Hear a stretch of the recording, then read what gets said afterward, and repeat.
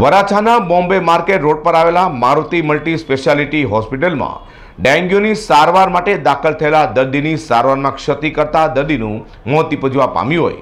જે મામલે પરિવારની ફરિયાદની તપાસ કર્યા બાદ વરાછા પોલીસ દ્વારા હોસ્પિટલના ડોક્ટરો વિરુદ્ધ સાપરાધ મનુષ્યવધનો ગુનો નોંધી તપાસ હાથ ધરવામાં આવી છે. સીમાણા ગામ ખાતે રહેતા પારસ વઘાસીએ જણાવ્યું હતું કે તેઓના સંબંધી વિરલભાઈ વરાછા મુંબઈ માર્કેટ રોડ પરના રેણુકા ભવનની સામે આવેલા મારુતિ સ્પેશિયાલિટી હોસ્પિટલમાં ડેન્ગ્યુની સારવાર માટે દાખલ કર્યા હતા.